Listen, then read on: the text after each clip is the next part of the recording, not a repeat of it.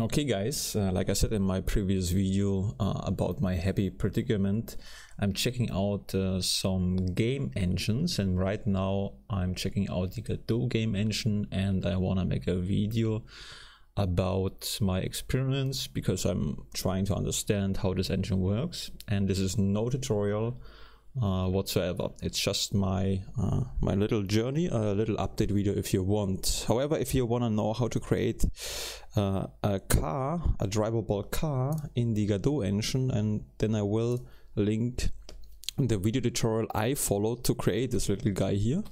Uh, in this in the description so uh, I'm gonna make sure that the video is here because this car here what you can see right now is based on the nice tutorial I saw and I'm still not finished with that. Okay, let's let's do something fun for for uh, to get started. So we have a car and we can drive it forward backwards with the keys. We could also use a controller. I set that up and we have some little bit of physics. I hope yeah it works.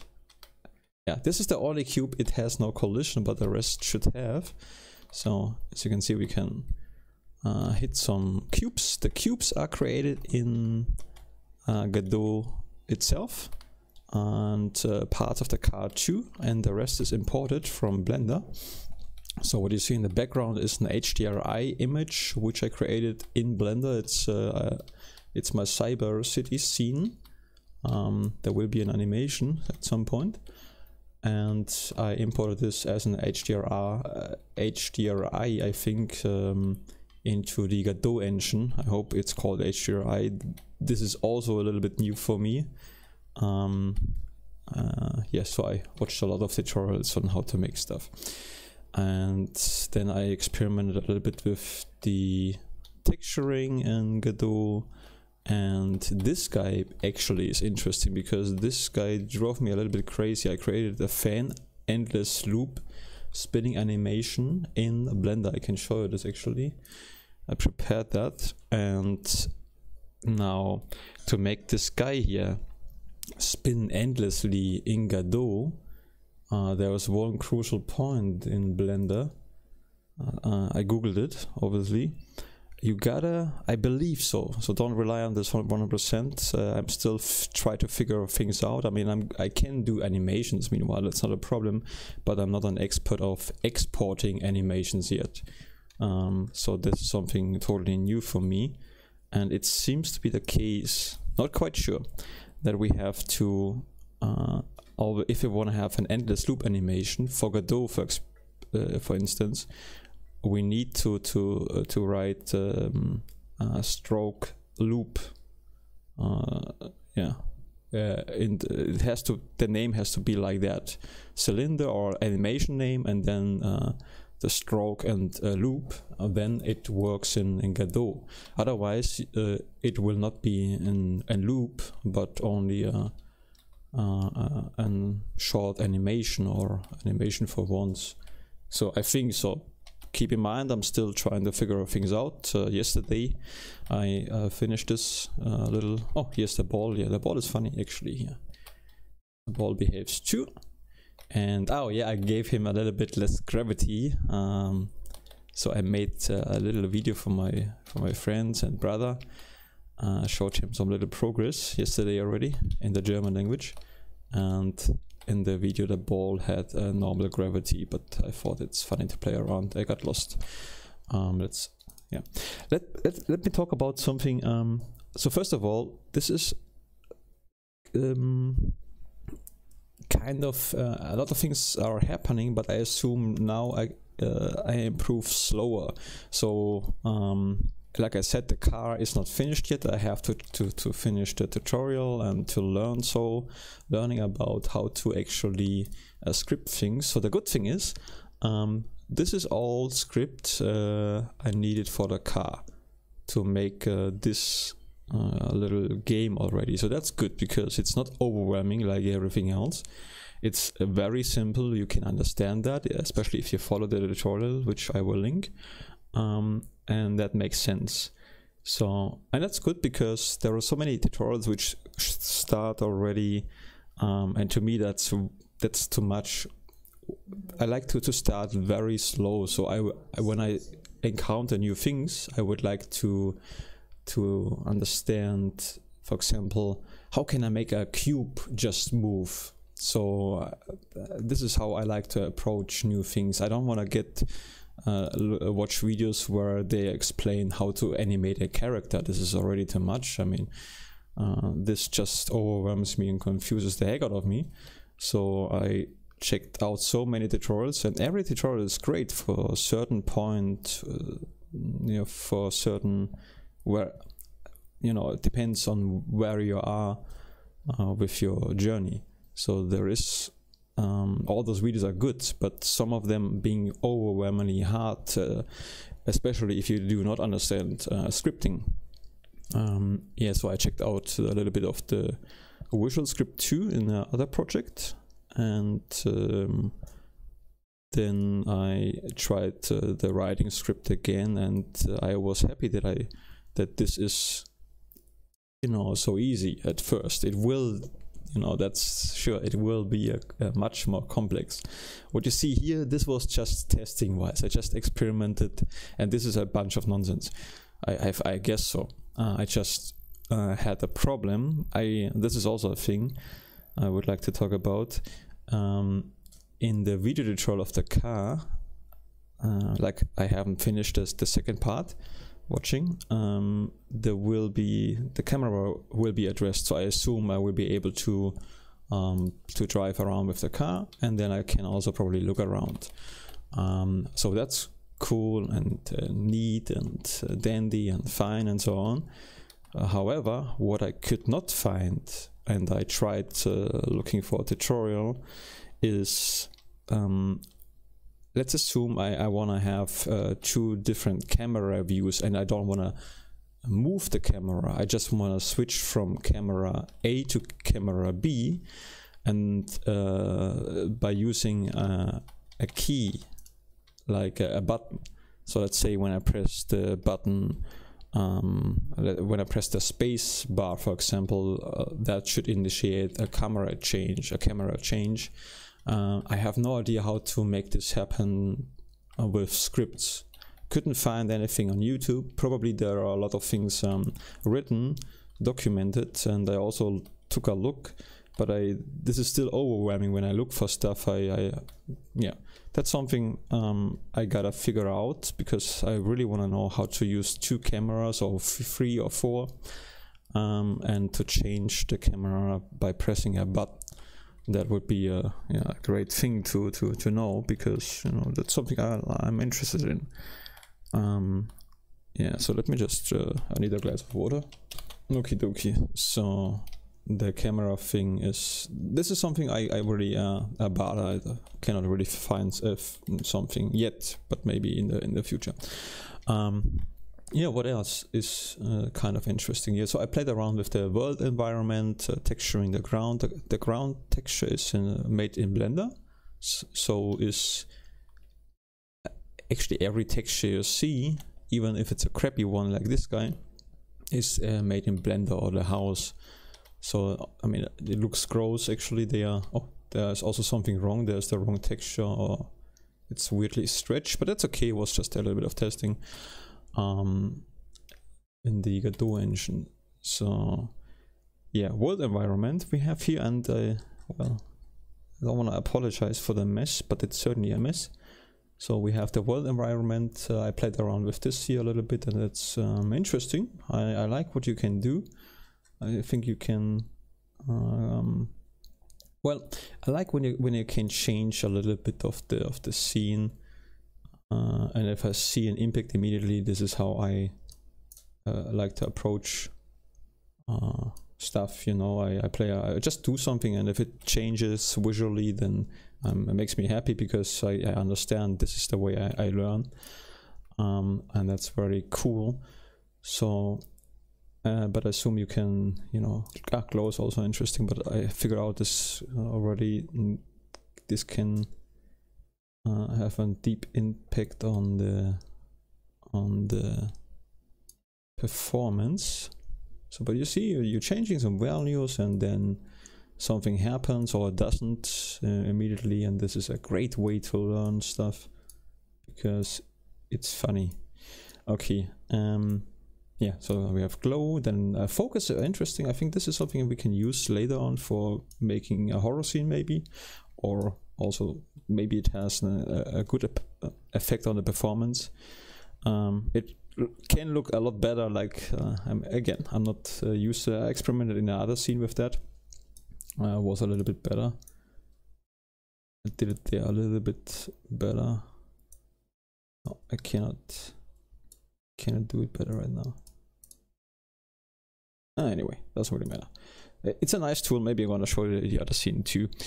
Um, yeah then we have a direct light somewhere here. Again this is a, a mesh a, a, a, mess a mesh mess if you want. Where's my direct light? Here. No this is my spotlight. Ah yeah. I, I put a spotlight onto my car. And um, also side note is um, again the car's uh, behavior is based on the video tutorial. And then to make the car look nicer I, I just put it um, sorry where's my car here. Just put it my my main car onto the tutorial car actually.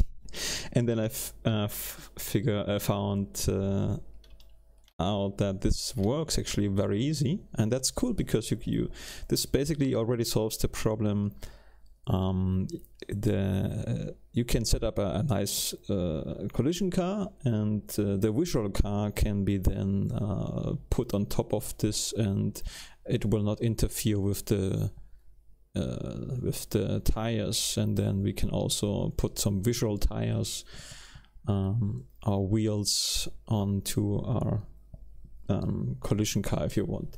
So that's already good. That gives me some ideas to work with. That that's cool yeah so we can make a auto ball game and um, yeah.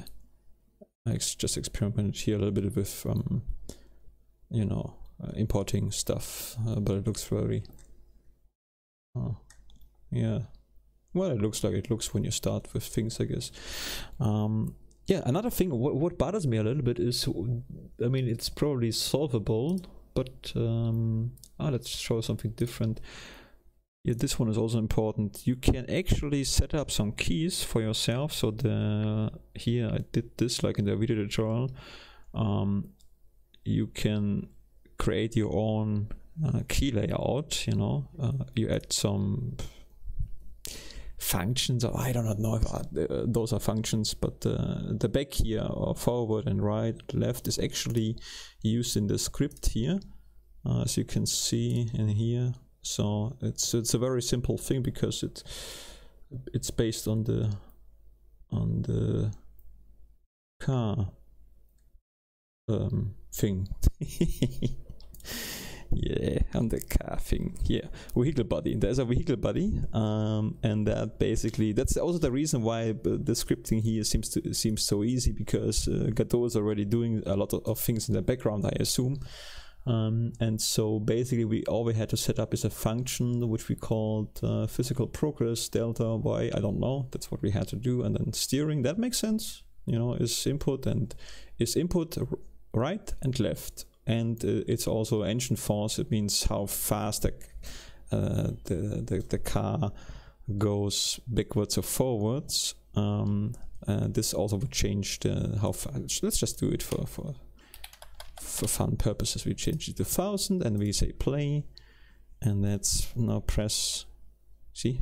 It's already faster. And since the car has also gravity and stuff like that this this really messes around with yeah the car is it's not a glitch or something it's just you can see the car is um, so strong that it cannot uh, maintain to stay uh, his own.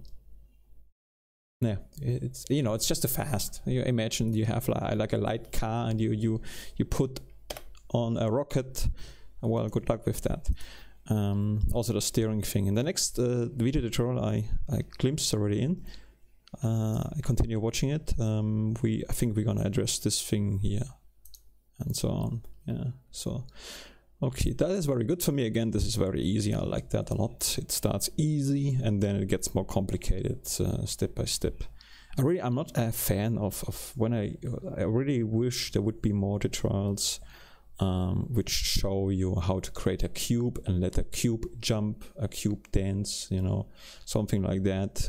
Because I think characters and animations, which even if you just import that, there is an asset library here. Uh, I guess so. Somewhere I haven't really do, done, uh, didn't do much. Um, it's just overwhelming. It is to me just overwhelming. I, I need it as simple as possible. But anyway, um, yeah. So there, the one annoying thing um, when I use when I started to learn Blender is um, that uh, I saved my Blender file, and uh, if I screwed something up and I didn't know how to fix it, I just uh, closed my Blender file uh, or Blender and opened uh, reopened it again, and it was uh, you know the the error was gone because I haven't saved I didn't save the I didn't save the error uh, here in Godot, sometimes I mess up something and then I think, hey, let's close the window, let's restart it again, and then it it also saved the the, the mess I made. Um, it probably has to do with uh, with an autosave function. Not sure if it's autosaved all the time, if it autosaves sometimes, or if it out uh, or, or if it saves when I when I close the program. Um, maybe I should have just you know checked out those, those things here. But you know I'm not complaining. It's just my mm, uh, things uh, which I encounter on network yeah. So but I think I, I covered everything. So this is where I am right now. Now let's, let's just drive around again. It's just more fun. Uh, so I like a lot how how easy it is to, to, to set up some some little coll collision stuff. Oh no, change the ball. Let's change the ball. Yeah, let's change the ball. It's funny. Oh, also because let's just take a look at this on this guy. So we have our little ball here, right? Um, sometimes what I do, or what happens often is that I this is the whole object when I grabbed it, and those are the childs of the object. So this is basically this is what, what we should grab if we want to change it, the position in the in the world. Uh, sometimes I accidentally grab the mesh instance, for example. If I do that, then the mesh instance is now in a different position as the collision shape, which then can be confusing because you you you collide with the collision in the world, but you don't see the collision. So it seems to be, uh, it looks like a glitch, so that's confusing. So what you should do is close that, you know, um, there's a little uh, window, uh, a little arrow, and only if you want to change uh, the size of, of it or something uh, in the world or change the position, then move this guy around. Okay, let's make him simpler, bigger. Let's see if this works, just like that. Scale, let's make it uh, free. That's good. Free and free because he's, I mean, if it's a light ball, See, this is a, what I, this is exactly what happened. I don't know why this happened right now. What is he saying me? Size change to rig uh, character uh, will be overwritten by the physics engine when running. I see. Change the size, children. Yeah, I don't know what it says, what it means exactly, but I assume we, we just changed it in a lazy way. Um, this has I, I think I get it, but it's not important for what we want to do because uh, I just want to make him bigger because we the gravity is uh, 0 0.1, uh, 0 0.1 and I think it, it should be okay. I think it will be, uh, it will look like a, huge uh, light ball. Let's just see if this, yeah, this is actually what I was uh, looking for. Because he's so big, um, he he he shall be you know like in this light you know the when i was a kid we played uh, you know at, at, school with some with some huge uh, we didn't do this often uh, should be more often huge uh, light balls and, and stuff you know outside when we were on you know a school vacation or something like that. I don't know how to call it in the English one. This reminded me on that. Anyway, so now it we have a huge guy here. Yay! Look at you. So okay, but I think I'm done. I'm not sure if I have to talk more. Let me think. Do I have something important to say? Luveluf. I just called to say a Luveluf. That's very important. Okay, guys, that's it. Uh, I'm gonna I'm gonna say goodbye, and the next update will come. But it really don't expect anything now. Um, I think the the steps are now much slower. But the first impression, oh yeah, that might be. Um, yeah, I like Godot so far because it's pretty close to, to a Blender and it's free and it's small. It's uh, 74 gigabyte or 75. Uh, megabyte, not gigabyte, megabyte. Uh, yeah, the whole Godot thing is 75 megabyte. Um, yeah. yeah. Oh no, I want to show you the other scene and that's it. Uh, wait. Okay guys, so this is um, the previous uh, thing. I think I named some of them. Uh, a good idea basically is to name um, some projects when you make a tutorial like your tutorial so then you can look it up again and uh, when you take a break. I think that's a good idea. So that's the name of, of some tutorials i checked out i believe. Uh, okay i think car is the one we want to check out. And just double clicking should be sufficient. And here we go. This is the model I shot before. And here I experimented with uh, another HDRI which is again a new thing to me. Uh, I checked out on YouTube how to create HDRIs uh, in Blender. And uh, that's a good easy way to to to use some of those uh, things because you can do I think I have the universe here yeah? You can uh, change it like so. And let's use universe 2, I hope. I have two, I mean those HDRIs are also not perfect, I figured out I can make them even better, but that's a nice way to make uh, a space, you know, uh, game. And here I used visual scripting, I believe. Let's check this out. Uh, K Anton. Uh, how did I do that? Yeah, this is visual script. Um, I don't know where what of those things I, I choose. Uh, it's depending. You cannot tell because when I work with this, I think, oh, that's great. And when I work with the other thing and it works too, it's also great. Whatever works is feels good. So it doesn't really matter if it's visual or not.